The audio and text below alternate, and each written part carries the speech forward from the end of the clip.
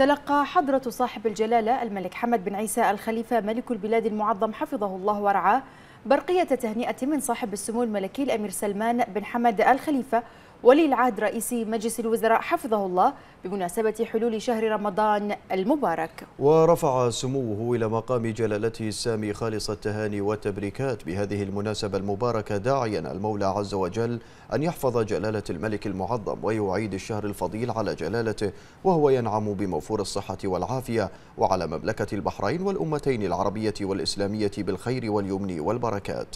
وقد بعث حضرة صاحب الجلالة العاهل المعظم حفظه الله ورعاه برقية شكر جوابية إلى صاحب السمو الملكي ولي العهد رئيس مجلس الوزراء حفظه الله. أعرب جلالته فيها عن شكره لسموه على مشاعره الطيبة سائلا الله أن يحفظ سموه ويرعاه وأن يعيد هذه المناسبة الكريمة بالخير واليمن والبركات على مملكة البحرين العزيزة والأمتين العربية والإسلامية.